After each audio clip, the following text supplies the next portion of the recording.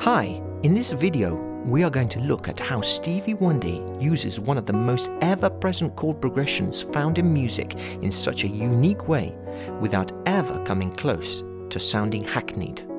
The chord progression we are talking about and listening to is chord 1 to 1 7 to 4 and beyond, but normally minor.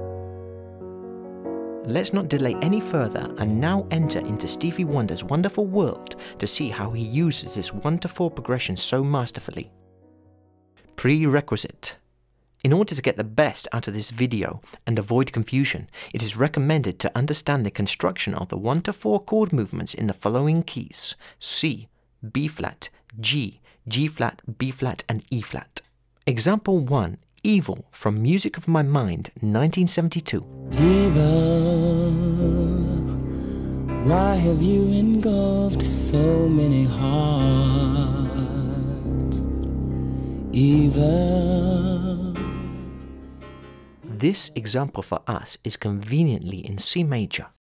So the C major triad becomes a C major 7, then it goes to C7 this in turn becomes the 5-7 dominant of F major, the 4 chord.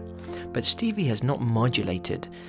This is just a move to the 4 major chord in C major.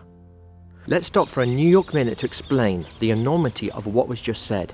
The harmonic move to F major via its dominant C7 in the key of C is not a modulation, as the F does not become the home, root, or tonic chord, as its duration is just too short for it to become established in the ear as the new tonic. For instance, if I go to France for the day, see the Eiffel Tower and enjoy some runny cheese and fine wine, I do not suddenly become French. I've simply gone on a small trip and then, after a short period of time, return to Old Blighty, slang for Britain. The chord after this 4 major chord is 4 minor. The beautiful 4 minor is so essential to know and love as it is so emotive and widely used. Eva, why have you engulfed so many hearts? Eva. Notice the elegant line in the harmony.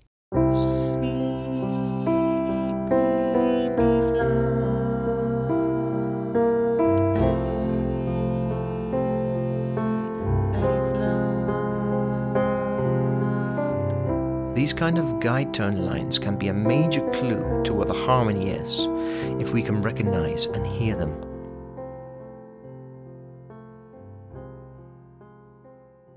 Example 2. Please Don't Go, 1974 from Fulfillingness First Finale. Very similar to the first example, but in G major.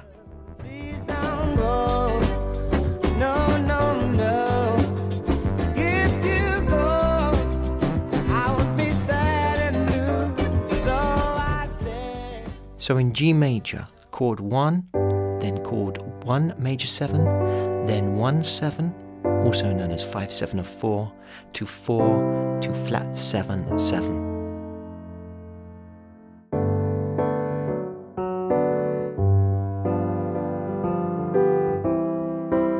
So this time after the chord 4 we hear flat 7 7, which is a substitute for 4 minor. Both of these are backdoor chords. See this video if you would like to discover more about this emotional, soulful cadence. Example 3 Happier Than the Morning Sun, 1972, from Music of My Mind. The same progression again, this time though in F major. I'm happier than the morning sun. And that's the way you said that it would be. If I should ever so chord 1, chord 1 7, chord 4, and then flat 7 7. In this case, in F, F to F7, B flat, and then E flat 7 that goes back to the tonic.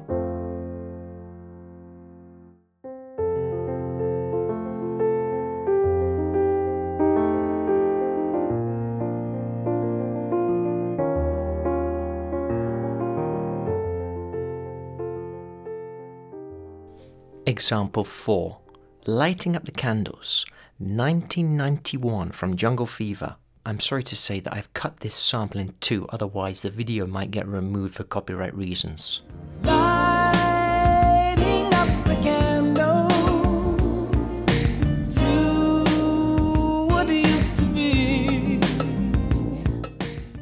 So again, the same chord structure, this time in B flat major, with B flat pedal bass, knitting the whole thing together.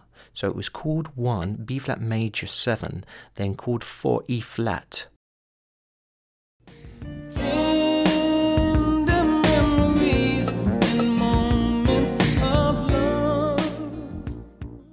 So that was chord 4 to chord 4 minor back to chord 1.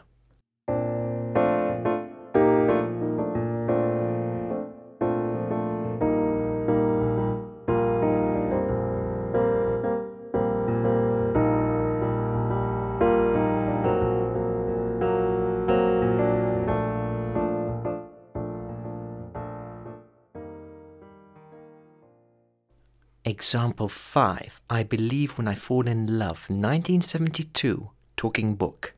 This is an E flat and is slightly different. Shattered dreams, worthless years. Here am I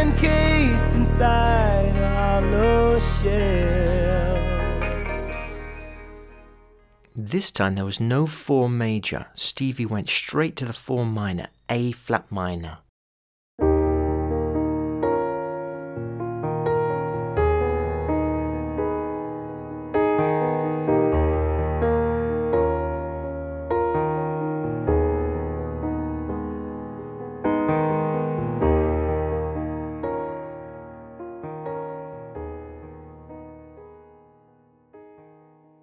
Example 6. He's Misstra Know It All from the colossal 1974 Innervisions album.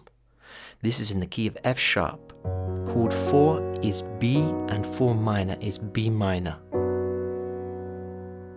He's a man with a plan, got a counterfeit dollar in his hand.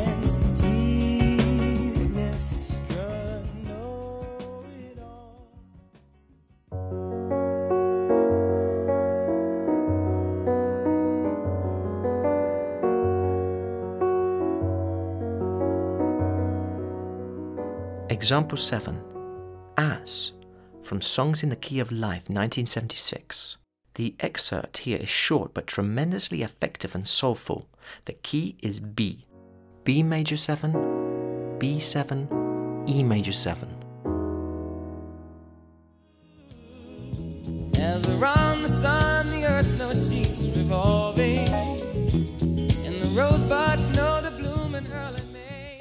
Eternal gratitude to Stevie Wonder.